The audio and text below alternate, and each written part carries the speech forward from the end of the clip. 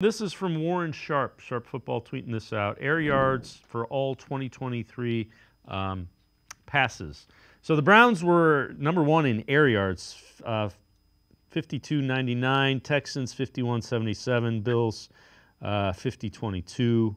Um, it's kind of interesting because you, you have Ken Dorsey coming in, and, and the Bills yeah. were at 50.22. Um, the Browns, uh, what I would say is they need more yards after the catch. That's, I think the air yards.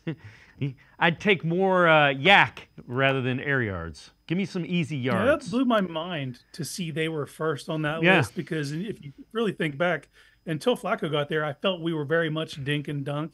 Now, uh, Watson would take occasional shots, but that's just not him. That's every quarterback in the league.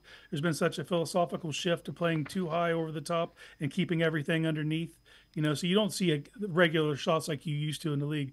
But then when Flacco got here, it was just huck it, chuck it, and all of a sudden that elevates where you're at. So you're like, well, what does that mean for this season? Since Flacco's not here, probably not much. But to your point, all number three on that list is Buffalo and, and Dorsey coming in, and I think you have the personnel now. You got a couple burners between Jeudy and Moore, even Jamari Thrash. You, you think that you might be able to take the top off some defenses and and let it rip. But uh, I'm with you. I just just get the ball to playmakers in space and let them make plays. And I think you have the guys in place to do that. Yeah, the the thing that I kind of chuckled at was one of the national guys described it as touchdown to check down, which uh, all right, I'm I'm in. I'm all in.